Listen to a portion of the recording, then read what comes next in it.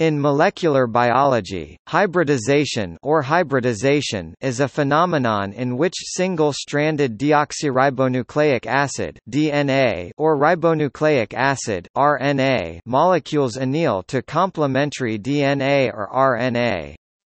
Though a double-stranded DNA sequence is generally stable under physiological conditions, changing these conditions in the laboratory generally by raising the surrounding temperature will cause the molecules to separate into single strands. These strands are complementary to each other but may also be complementary to other sequences present in their surroundings. Lowering the surrounding temperature allows the single-stranded molecules to anneal or hybridize to each other. DNA replication and transcription of DNA into RNA both rely upon nucleotide hybridization, as do molecular biology techniques including southern blots and northern blots, the polymerase chain reaction (PCR), and most approaches to DNA sequencing.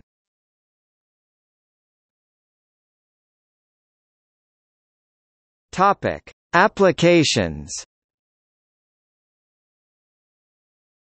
Hybridization is a basic property of nucleotide sequences and is taken advantage of in numerous molecular biology techniques. Overall genetic relatedness of two species can be determined by hybridizing segments of their DNA DNA-DNA hybridization.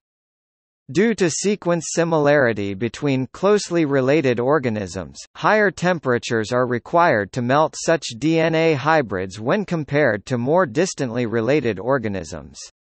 A variety of different methods use hybridization to pinpoint the origin of a DNA sample, including the polymerase chain reaction (PCR). In another technique, short DNA sequences are hybridized to cellular mRNAs to identify expressed genes. Pharmaceutical drug companies are exploring the use of antisense RNA to bind to undesired mRNA, preventing the ribosome from translating the mRNA into protein.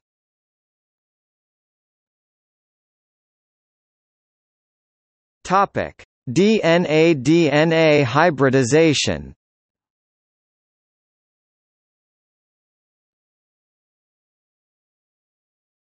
Topic: Fluorescence in situ hybridization Fluorescence in situ hybridization (FISH) is a laboratory method used to detect and locate a DNA sequence, often on a particular chromosome. Researchers Joseph Gall and Mary Lou Pardue realized in the 1960s that molecular hybridization could be used to identify the position of DNA sequences in situ, i.e., in their natural positions within a chromosome. In 1969, the two scientists published a paper demonstrating that radioactive copies of a ribosomal DNA sequence could be used to detect complementary DNA sequences in the nucleus of a frog egg.